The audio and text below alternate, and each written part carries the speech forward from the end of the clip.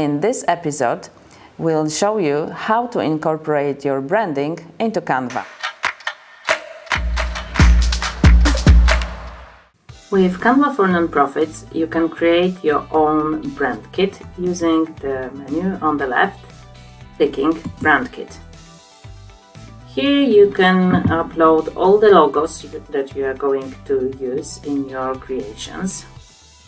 Here TechSoup logos, logos of our projects and our partners. To upload more, you just click on the plus button and you choose the proper image from your own library. There are not only logos that you will always have in a folder near to you, you can also put your brand colors and even the few palettes of them. This is the TechSoup brand colors and this is the second palette of our Meet and Code project. You can easily change the name, just click and write. And easily upload a new color using the, again the plus button, putting the number of your uh, of the color that you need. For example this one and we have it. To delete it you just need to find the cross button and it's gone. The third amazing things is your branding fonts uh, that you can put three main ones the headings subheading font and body if there are fonts that you cannot find in Canva itself you can always upload uh, your branding font from the files from your computer. So uh, when you have it all done, all set, check how easy it is to create a design when you don't need to look for a new all the time for your branding colors, uh, your fonts or logos because everything is in one place. Let's create a first page of a presentation, for example. It's opening, it's blank, totally white. Uh, and let's use our uh, branding. Here on the left you have this logos button, all the logos that you use. So let's find TechSoup Europe, here it is. Uh, we can put the white one, put it on the right place of the design. I would like to change the background so I click on the background and I go to this uh, palette of colors and as you can see I already have my branding colors set or the project colors and some other let's put this white one this blue one oh and now the logo is not visible so let's delete it and we'll put also from the logos file folder the white one. Here it is. Moving to the proper side. And now I can put some text. So let's click on the design and let's click T. And now I can write TechSoup Europe. You cannot see it, me neither. So let's make it bigger with my mouse or let's edit it with the editor which is here in the upper menu let's make it bigger uh, is it TechSoup branding font let's check we can always change it here as you can see here I recently used the first one and the next position is brand fonts which is Replica Pro Bold, Replica Pro Regular, Helvetica Light as it was set in the brand kit in the very beginning. Let's change it and here it is. Again changing the color. I have the whole palette of TechSoup colors. Let's make it white. And it's easy.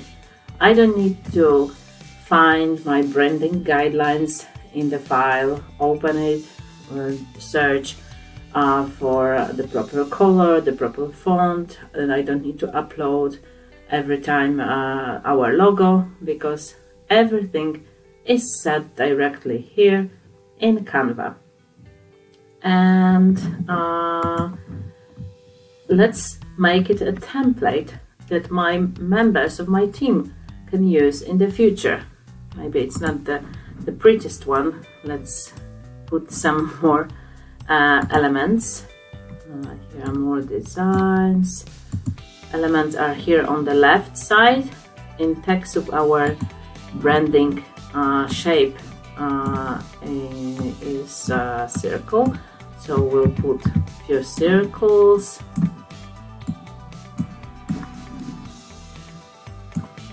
Uh, the branding colors, of course. And let's say that this is uh, the template of the um, beginning of our presentations. How to do it? I design it then I click on the three dots here on the right up corner. And I'm looking for a button called template here it is click on a template and you can publish it as a template in a folder that you like that you already created with, for your team. This is not Twitter, not YouTube, this is TechSoup Europe. So add, publish,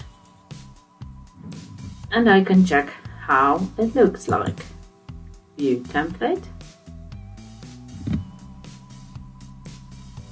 As you can see, I'm already in our folder called templates. You will find all folders here on the left, all your folders. There is a folder TSE and my TechSoup Europe, let's change name. TechSoup Europe presentation template is already here. I can share the link with my team members. They will click and they can use it. Or some graphic designer or other member can edit this original and add new pages.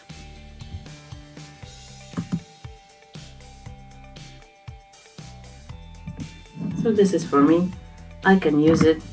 This is a copy, so it won't be changed by anybody.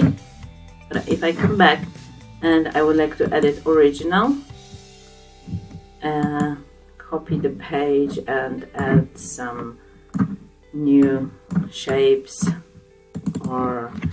change something as the second option for the uh, opening slide. For example like this.